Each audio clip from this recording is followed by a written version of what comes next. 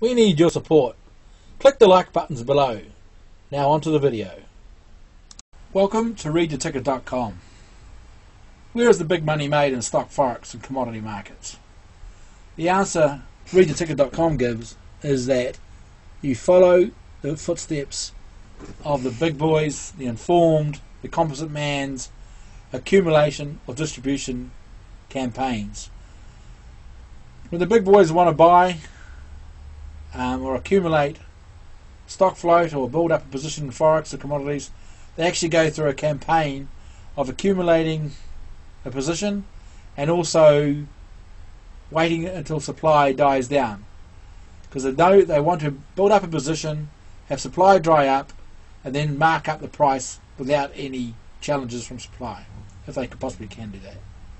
So therefore, to to study a campaign of demand and supply, the best logic out there is Richard Wyckoff logic.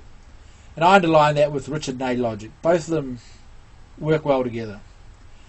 We also throw in some Gann angles and some um, cycles, Hurst cycles, because they help you understand some of the um, symmetries which are going on in the market, and they're, they're very useful tools. So a bit of Gann, a bit of Hurst, and the Wyckoff campaign logic is the best way to make money of any degree in the markets. Way better than day trading or option trading, even though you can do that within these patterns. But if you can, if you can work out a campaign is going on, and you suddenly get the confidence that a campaign is there to mark up prices or mark down prices, you can react in many different ways to profit from it. Within the um, the site's paid services, we have a service named RTT Plus. RTT Plus has another service within it called RTT Wyckoff Campaign. And within the service we follow, hopefully, some very well defined campaigns, marking the footsteps along the way and waiting and in real time, because not everything works out. We have to get we have to go through the difficult ones as well as the easy ones to show how a campaign has been progressing and likely that we can profit from it, the entry points, the breakouts, and what have you.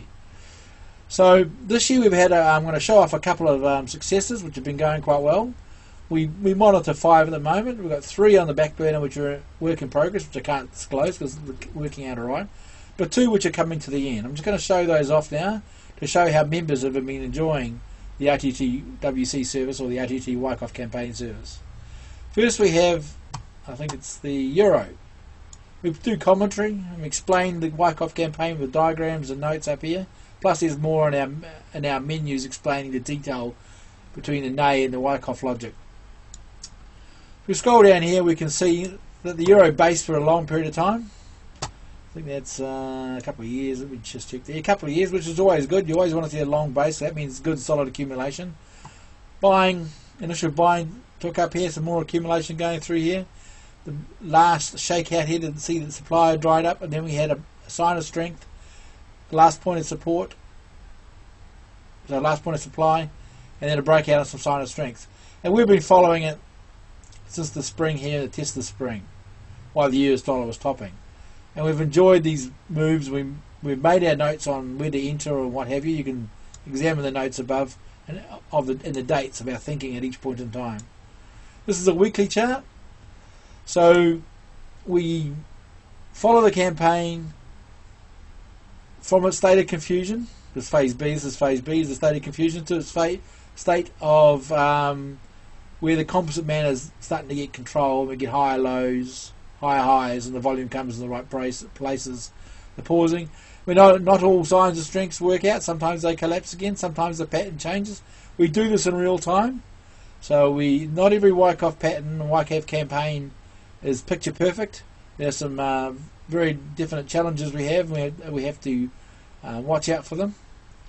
So the euro has been a good Wyckoff campaign to follow this last 12 months. And it's proven to be very successful. Obviously, long euro and short the dollar has other connotations out there and other asset classes and um, stocks you can trade off, which is parallel to this type of campaign. Another uh, another um, campaign which which the members have enjoyed is a Freeport McMoran, is it? Yeah, McMoran, yeah. FCX. Now this is obviously on the back of the copper um, reversal. Uh, once again we had the um, you know the selling climax down here, automatic reaction. As you can see, very good higher lows, testing going on, signs of strength, and finally the breakout after the last point of su supply. Last point of supply just goes to prove that there's no more supply around and it's free to mark it up. But as you can see, it was a much longer last point of supply. It was actually about three months, which is a bit unusual. But as we do this real time, we've got to put up with the real time problems. Looking, a lot of people out there put out your Wyckoff charts, and they're all picture perfect, giving the impression that every time you see a picture like this, it's all going to be easy. But we do this real time, we mark them out, and we have our winners and we have our losers, and the losers uh, come back later when the when the patterns change. We monitor the campaign in real time so members can learn the challenges and the tricks in the trade of what the big boys are up to and how they're trying to um, bust out the public from their uh, from trade because the the big boys know that the Wyckoff logic is out there, they're using it, and they don't want to make it too easy um, for those Wyckoff followers out there. So they paint the chart to try to upset them. So there are tricks involved. But we do what we can to watch it real time and use our skills and, and uh, explain and interpret what's going on, to follow the tricks, to see the change in demand and supply. Hopefully, uh, when we uh, are bullish, when we see the supply dry up based on our volume and studies, um, we get excited about taking positions that we have laid out in our mapping of what to do in these diagrams here. So Euro, the Euro and uh, Freeport McMoran have been very good trades the last 12 months. They've still got a bit to go, but we've enjoyed following them through the Wyckoff campaign logic, and we invite you to um, sign up and enjoy our future campaign studies. Thanks for watching.